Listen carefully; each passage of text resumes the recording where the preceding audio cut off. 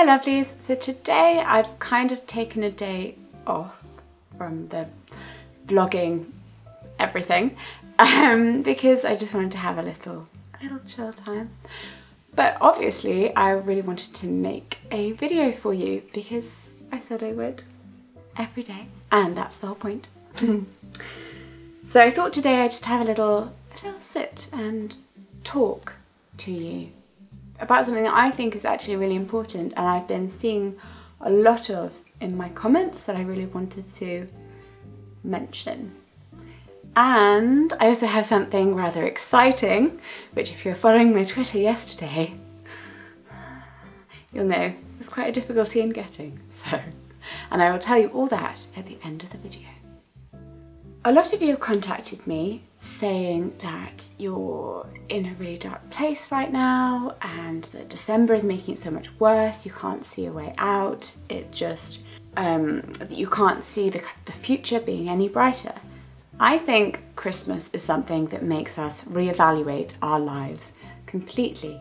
It's this constant, a yearly constant in a sea of buffering change and the differences in that marker from year to year to year can be absolutely painfully manifest, either because something has changed so much from last Christmas or because it hasn't and it's just stayed the same when you hoped it would be different.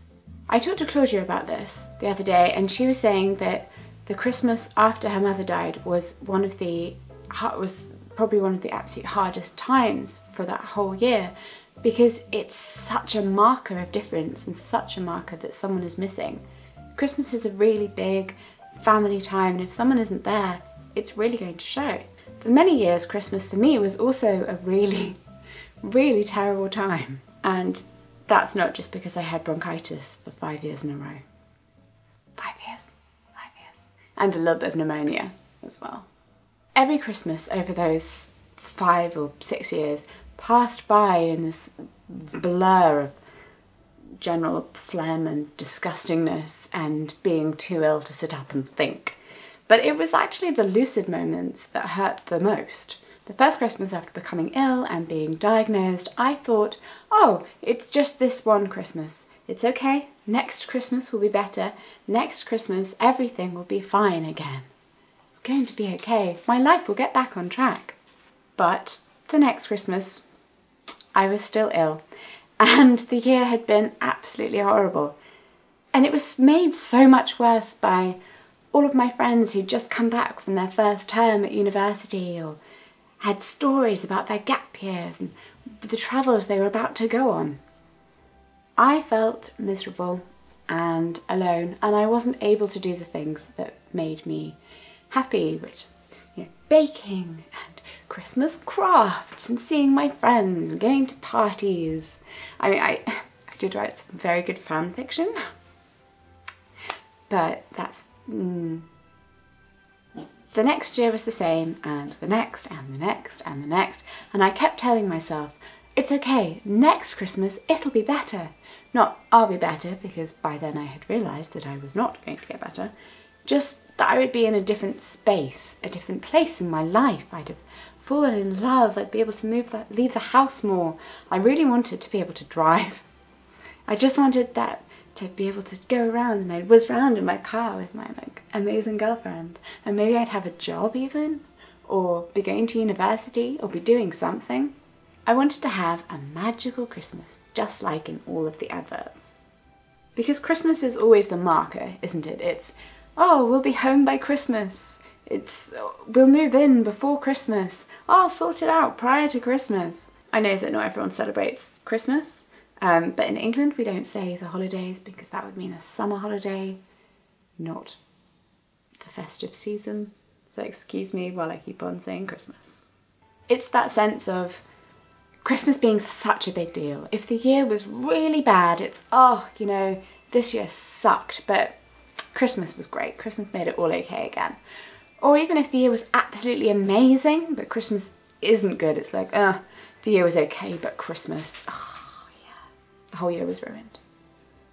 I had this idea in my head for all these years of, oh, what Christmas should be and this perfect ideal that it needed to live up to. And it didn't. Because in that perfect idea, I wasn't actually disabled. I didn't actually have any of my problems in my little ideal world. But isn't that silly? Isn't it stupid that Christmas is the thing that we judge everything by? I cried and I cried and I cried and I was alone in my room and I was isolated and oh, it just generally was sad and it sucked. So for those of you who ask, are you always happy, Jessica? Yeah, I kind of am now, but I wasn't always. Especially Christmas. Time for the happy twist in the tale. Eventually, I started to look at Christmas as not something with set things that I needed to follow, but just as an excuse to spoil myself. A congratulations for having made it through the year. I couldn't control whether I had a girlfriend or not. I couldn't do anything about my brother going to his girlfriend's family for Christmas. I couldn't bring back my grandparents and have the magical Christmases of my childhood where my 40 family members were all under one roof. But I could find the parts of Christmas that I really loved and just indulge in them. If I wanted to take the entire day's energy to make a beautiful decoration above the mantelpiece, then by golly, I was going to do that. If I wanted to waste a day, and by the way, it's not wasting because it's your own energy, and whatever you choose to do with it is not wasteful.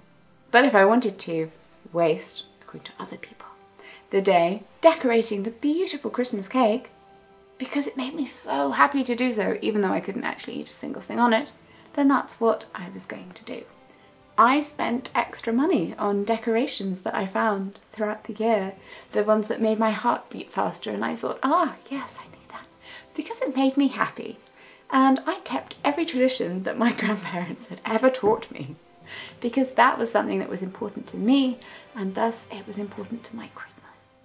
Christmas is a really, really hard time for an awful lot of people. And that's why I think Christmas should be a time when we actually just give ourselves a break. So please do yourself a kindness and look after yourself mentally, emotionally, physically. I don't want to put you off too much by sounding like a PSA, but please remember that there are people that you can talk to if you're feeling really sad this Christmas. I'm going to put some links down below in the description that you can go to, people who will just listen to you and whatever it is that you're currently dealing with. But, but I need you to do a favour for me as well. Currently I'm getting a lot of comments on all of my videos and as much as I would love to be able to reply to every single one and see everyone. I, there are some that I do miss. And if you see someone in my comment section who's having a particularly hard Christmas, someone who says that they're really struggling right now, could you please do me the kindness of giving them a reply and saying that it's okay, that we're here and that we're listening. I need you to give them some kind words because it doesn't cost anything to have an open and loving heart.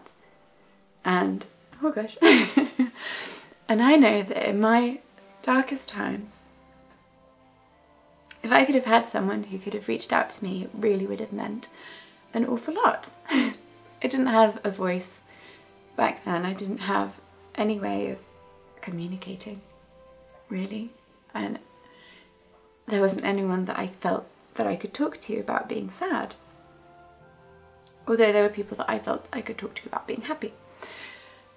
And I know it just would have meant the world for me, and that's what I want to give to people who are in that place that I was. The smallest bit of kindness can make all the difference, so please help me share some this Christmas. Thank you.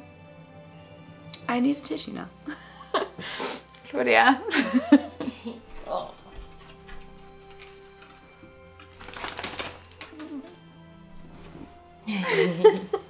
Hello, Tills. And look, Walter's here too. Oh, family cuddle. Everybody here. Mm-hmm. I love you.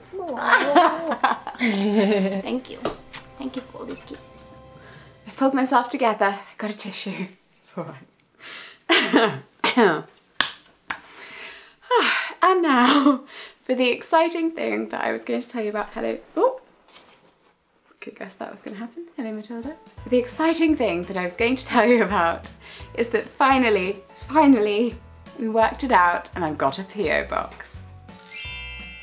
Oh my goodness. This took a lot of struggle, got charged three times for the same box and then they wouldn't actually give me. It's okay, it's in the past Royal Mail and I forgive you. The people have been asking me for such a long time whether I have a PO box and can I please get one, especially since loads of you make the most amazing artwork and then asking if you can send it to me and the answer is of course yes I would absolutely love your artwork and now I have a PO box where you can do that and some people want to send Christmas cards too and I'm very I'm very touched by this. The address is Jessica Out of the Closet, PO Box 5458 Brighton BN50 8LQ. Thank you. I really look forward to seeing what you guys send me. Mm. Now don't forget that I myself am very looking forward to sending out a box of goodies to one of you. All you have to do to enter the giveaway is click the link down below to the Instagram post which will tell you everything.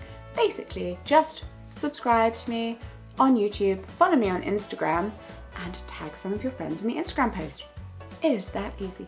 I really look forward to seeing who wins and I really look forward to seeing the amazing things that I'm sure will be in your cards.